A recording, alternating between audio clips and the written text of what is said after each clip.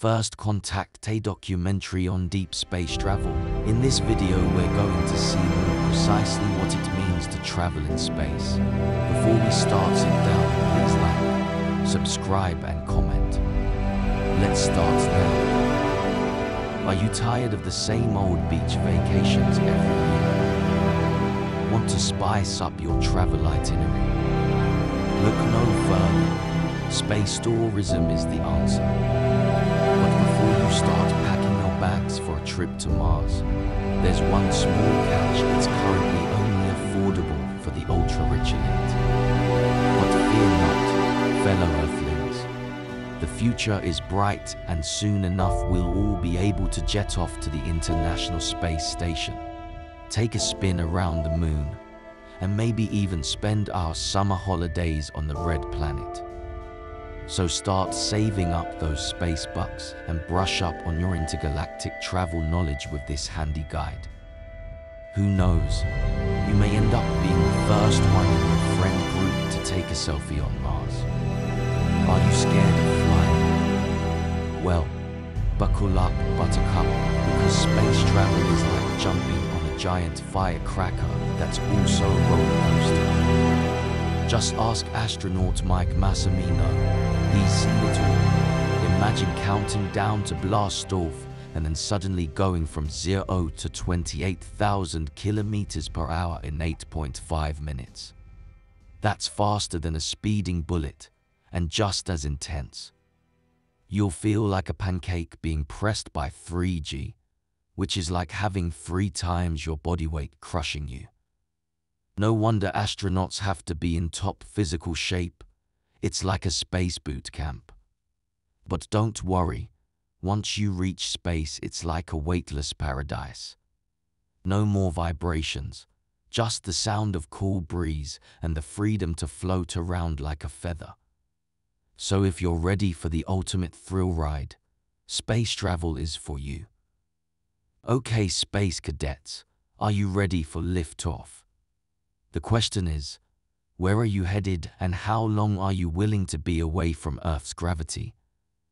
Don't worry, we've got you covered with our intergalactic vacation planning guide. If you're short on time and just looking for a quick space jaunt, plan for a two-week trip.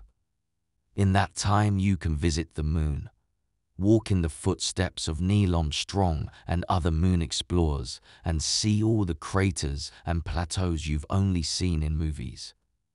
Plus, the view of Earth from the moon is out of this world literally. But, if you're looking for something a bit more off the beaten path, the dark side of the moon is perfect for a digital detox as there's no signal. But, if you're looking for something more adventurous, like the space equivalent of a trip to Mars, then you better plan for a three-year trip. Just getting there takes six to nine months, and once you're there you can climb Olympus Mons, the largest volcano in the solar system, or explore Valles Marineris, the Martian version of the Grand Canyon. So, pack your bags, set your coordinates and blast off on the vacation of a lifetime. Forget about packing your entire closet for your space vacation. The key word here is minimalism, folks. But don't worry, we've got a list of essentials to make sure you don't leave anything important behind. First and foremost, earplugs are a must. Space travel can get pretty loud. Next, pack some heavy socks to keep your blood flowing to your feet in zero gravity. A head flashlight is also a must, because who wants to hold a flashlight while floating around in space? Velcro is also a lifesaver. It's great for sticking your book or camera in a convenient spot. And last but not least, bring reading glasses to combat the lack of gravity's effect on your eyesight. And a tip from former astronaut Leland Melvin Bring something to remind you of home like a stuffed animal, toy, photo or any other memento to combat the inevitable homesickness. Do I have to get vaccinated before blast off? No, but you might have to spend some time in quarantine to make sure you don't bring earth germs to space. Can I bring my furry companion with me? Sorry, Fido.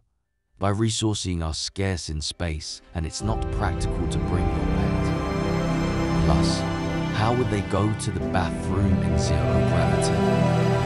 What's on the menu? Mainly snacks that you can pop in your mouth without making a mess. Fresh foods are a no-go. They're too complicated to consume in space. Will I get space sickness? Maybe it's the opposite of car sickness. Your eyes see movement, but your body doesn't feel it. It's like virtual reality sickness. Wearing a VR headset for a while might give you an idea of how you handle it. Thank you for following us in this video. See you in the next episode.